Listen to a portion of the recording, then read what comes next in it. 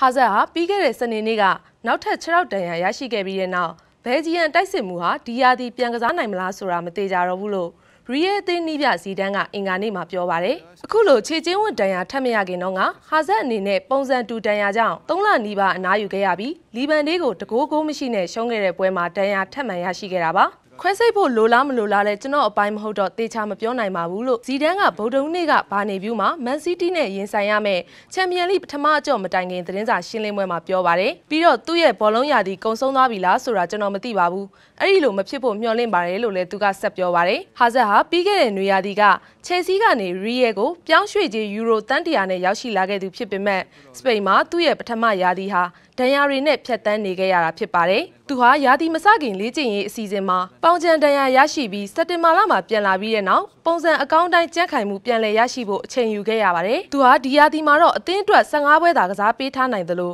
တကိုးသာသွင်းယူပေးထားနိုင်တာလည်းဖြစ်ပါတယ်။သူမပြောဘူးဆိုတာကျွန်တော်သိပါတယ်။အကောင့်ဘက်ကကြည့်ပြီးသူဆက်ရှိနေဖို့အရေးကြီးတယ်။ဒါပေမဲ့အမှန်တော့ခက်ခဲပါတယ်။ဒါဟာဆိုးရွားတဲ့အခိုက်အတန့်တစ်ခုပါ။လွယ်လွယ်လေးတော့မဟုတ်ပါဘူး။သူခဏလောက်ဒီလိုခံစားနေလိမ့်မယ်လို့ဇီဒန်ကပြောပါတယ်။